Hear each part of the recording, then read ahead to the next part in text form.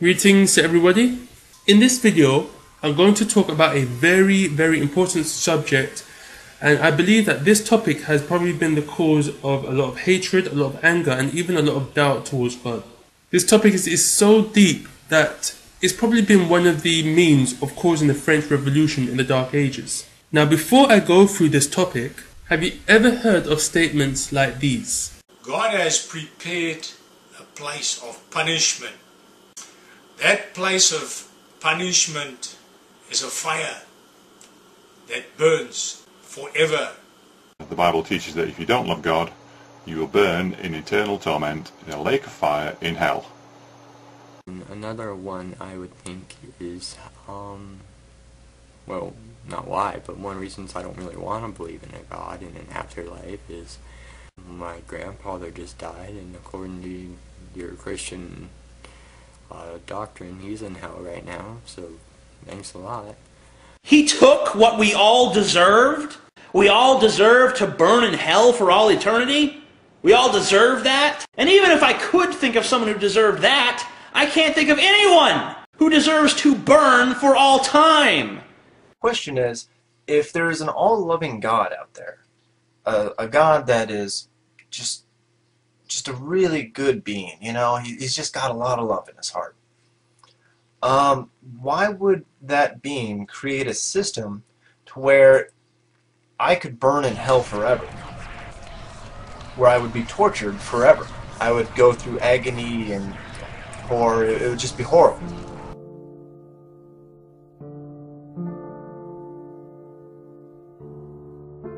Now, before I even go through this, I'm not really here to talk about the individuals who posted their questions or their comments in, in whatever manner they did it, only because it is a good question.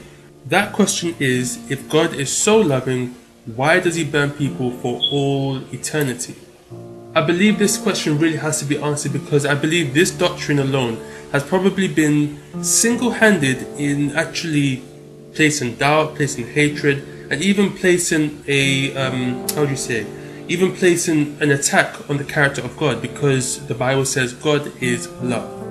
Hence, people ask the question if God is so loving, why on earth would you burn people for all eternity? Does it even make sense to do that? To be honest, I fully agree with that question. If God is so loving, why would you burn people for eternity? Let's put it in layman's terms. Let's say a man stole a piece of bread in the year AD 45. Now, in the process of stealing that piece of bread, he died and then he went straight to hell. So, in the year AD 45, he died and went straight to hell in the process of stealing a piece of bread. Now, we know Hitler to be one of the prominent figures when it comes to negativity towards certain races, and his teachings brought the cause of millions of deaths. Hitler died on the 30th of April 1945. Therefore, according to this doctrine of burning for eternity in hell, Hitler died on the year 1945, um, April the 30th, and is burning since that time for all eternity. Now, notice the two examples that I'm giving. I mentioned that there was a man who stole a piece of bread in the year AD 45, and Hitler died in the year 1945. In between the years of 45 AD to 1945, we have a time span of 1900 years. Now, think about this. The man who stole a piece of bread in the year AD 45 has been burning longer than Hitler, who was a mass murderer when it came to certain races, and Hitler died in the year 1945. So this man was burning 1900 years while Hitler only burnt for a lesser time than him, whilst Hitler did the bigger crime. Now, is that just? No. Is that fair? No. But what does the Bible say about God? Tell ye and bring them near, yea, let them take counsel together. Who have declared this from ancient time? Who have told it from that time? Have not I the Lord? And there is no God else besides me, a just God and a Saviour. There is none beside me.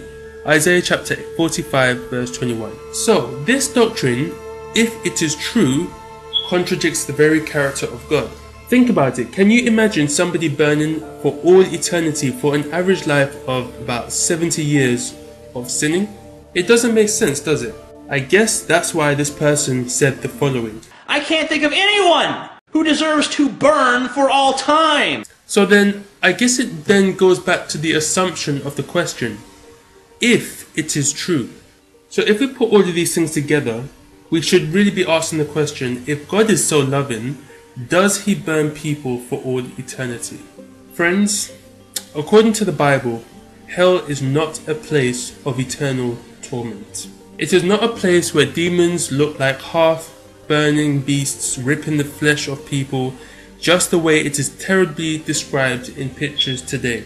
This teaching, if you look in history, actually comes from Greek mythology, and because of this, they in Greek mythology they believed that the soul was actually immortal. This is where this teaching of eternal torment also comes from. Now, based upon the time of this video, I can't really go too too deep into it. But what I've already done is I've covered this subject and that subject is going to be in the description below. As you click on that description, you're going to see from the Bible what the Bible truly has to say about the topic of hell and if eternal torment is actually true. Now, the reason why I believe this topic really needs to be covered is because I know for a fact that God is love in the Bible. And the devil knows that if he can get people's idea of the fact that God is love, he has won his argument, he has won his case. And so he's used this doctrine of hell to trick people into thinking that God really isn't loving, but that God hates us. God is unjust. God will burn you for all eternity if you do not do what he says. And obviously, for the fact that because Satan can keep you away from the true understanding of the doctrines of God, he knows that there's a big blessing for each and every one of us. So, what he's doing is trying to divert our attention. It will take away the attention of the gospel, which means good news, and place the attention on this false doctrine which is bad news. But if our gospel be hid, it is hid to them that are lost, in whom the God of this world hath blinded the minds of them which believe not, lest the light of the glorious gospel of Christ, who is the image of God, should shine upon them. So, based on the verse, as long as Satan keeps you in a state of unbelief because of the false doctrine that has been brought out, he's going to make sure that you're going to miss out on the glorious gospel of Jesus Christ. So you can understand why Satan's main attempt is to try and keep people in this this this spiritual state of blindness, you could say, so that people can miss out on what is actually true. So friends, if you want to see what the Bible truly has to say about the topic of hell, and it may sound strange, but see the good news about hell, you can click on the link in the description and this will clear up the popular Hollywood type false perceptions perverted unbiblical version of hell. So that concludes the end of this video. Thank you very much for listening.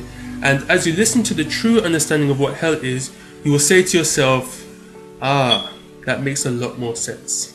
Thanks for listening. Bye for now.